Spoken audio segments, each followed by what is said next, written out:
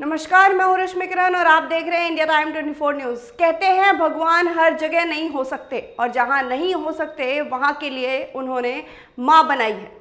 बच्चा पैदा करना, जीवन चक्र चलाना माँ की प्रवृत्ति है। माँ बनकर बच्चे को जन्म देकर, जननी कहलाकर एक महिला का जीवन सफल हो जाता है। वहीं कुछ महिलाएँ ऐसी होती हैं जिन्हें माँ बनने का सुख नसीब भी नहीं होता है। लेकिन इनमें से कुछ ऐसी भी महिलाएँ हैं जिनके साथ देर से ही सही, लेकिन उन्हें माँ बनने का सुख ज़रूर मिलता है। बच्चा पैदा करने की सही उम्र 23 से लेकर 32 साल तक मानी गई है, लेकिन आज जब तमाम महिलाएँ नौकरी पेशा है, इस उम्र में बच्चा पैदा करने के बारे में नहीं सोचती हैं। ज़्यादातर महिलाएँ 35 से 40 की उम्र में माँ बनना पसंद करती हैं, क्योंकि इसके बाद प्रेगनेंसी में कई तरह की दिक्कतें आती हैं। डॉक्टर भी सही समय पर पहले बच्चे पैदा करने की सलाह देते हैं, लेकिन कई बार आपने सुना होगा कि 50 की उम्र के बाद भी महिलाएँ माँ बनती हैं। लेकिन ये बात उतनी नहीं चौंकाती है जितना ये बात चौंकाती है कि 70 साल की उम्र में कोई महिला एक नहीं, बल्कि जुड़वा बच्चे को जन्म देती है। जी हाँ आपको बता दें कि युगांडा से एक दिलचस्प खबर आई है, जहाँ एक 70 साल की महिला ने जुड़वा बच्चों को जन्म दिया है। लेकिन इस उम्र में ये संभव कैसे हुआ? ये सवाल मन में ज़रूर उठता है, लेकिन ये पूरी कहानी किसी चमत्कार से कम नहीं है। बता दें कि युगांडा की राजधानी कपाला के एक अस्पताल में एक 70 साल की महिला ने सिजीरियन के ज़रिए एक लड़का और एक लड़की को जन्म दिया। इस उम्र में जुड़वा बच्चे को जन्म देना एक चमत्कार से कम नहीं माना जा रहा है।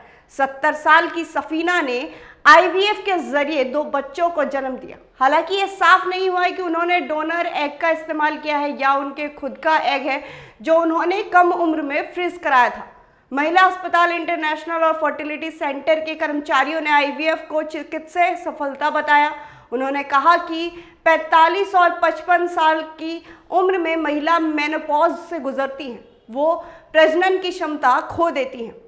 लेकिन मेडिकल एडवांस होने की वजह से उनके लिए बच्चे को जन्म देना संभव बना दिया। युगांडा के डेली मॉनिटर अखबार से बातचीत में महिला ने बताया कि उनकी प्रेगनेंसी काफ़ी कठिन थी क्योंकि जब उनके पार्टनर को ये पता चला कि उनके जुड़वा बच्चे होने वाले हैं तो उन्होंने उनका साथ छोड़ दिया। नामुक व्यय की तीन वर्षों से ये दूसरी डिलीवरी है। इससे पहले 2020 में उन्होंने एक बच्ची को जन्म दिया था। उन्होंने कहा कि निसंतान होने का मज़ाक उड़ाया जाता था।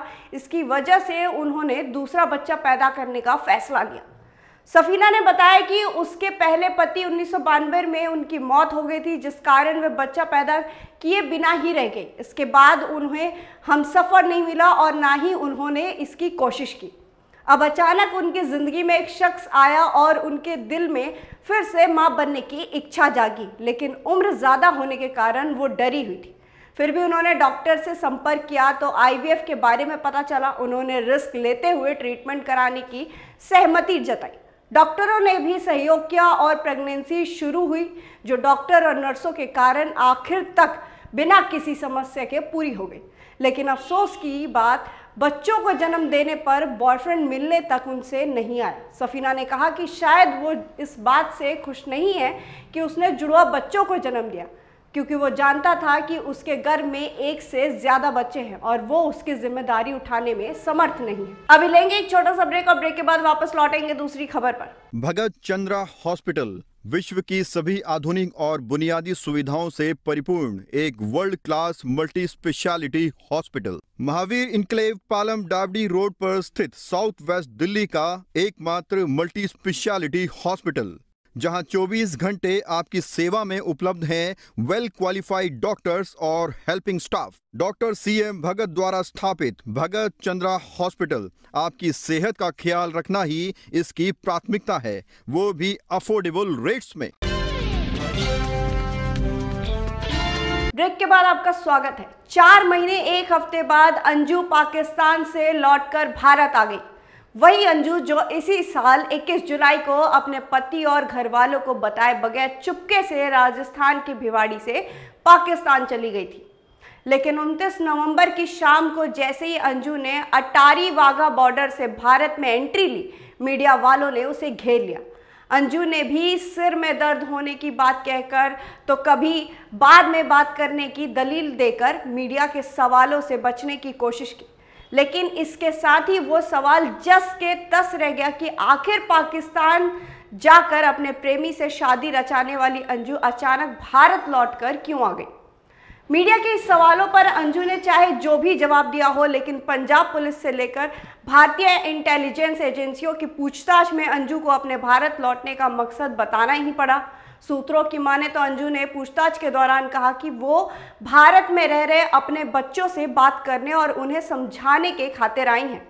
वो अपने बच्चों को बहुत ज़्यादा मिस कर रही थी और उनसे मिलना चाहती थी। अंजू का कहना है कि वो अपने बच्चों को समझाएँगी, अगर वो चाहे तो उसके साथ वापस पाकिस्तान जा सकते हैं। और अगर बच्चे इस बात के लिए तैयार नहीं होते हैं तो वो उन पर किसी प्रकार का ज़ोर नहीं डालेंगी।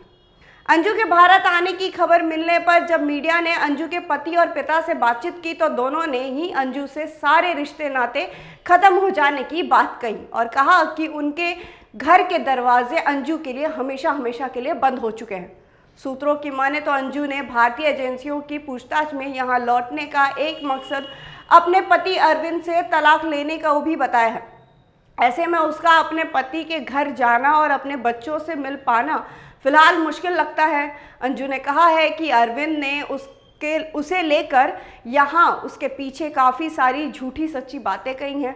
वो इसका पर्दाफाश करना चाहती है और वो सही समय आने पर सभी को अरविंद की, अरविंद के सच के बारे में बताएँगे और उससे तलाक भी लेंगी।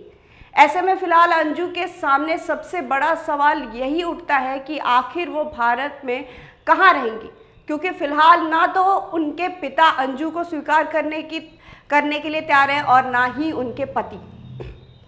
पाकिस्तान में चार महीने से ज़्यादा का वक्त गुजारने के बाद अंजू अचानक से भारत तो लौट आए, लेकिन अब आगे अंजू का क्या प्लान है, क्या वो फ़िलहाल भारत में रहेंगी और अपने पाकिस्तानी शौहर नरसुल्ला को भी यहाँ बुलाएँगी, या फिर वो भारत से वापस पाकिस्तान लौट जाएँगी और बच और साथ में अपने बच्चों को भी लेकर जाएँगी।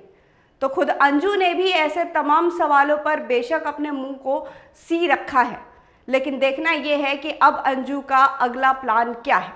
इस खबर में फ़िलहाल इतना ही। देश और दुनिया की तमाम खबरों के लिए आप बने रहिए हमारे साथ और देखते रहिए इंडिया टाइम 24 न्यूज़ खबरों से खबरदार रहने के लिए चैनल को सब्सक्राइब करें और प्रेस करें बेल आइकन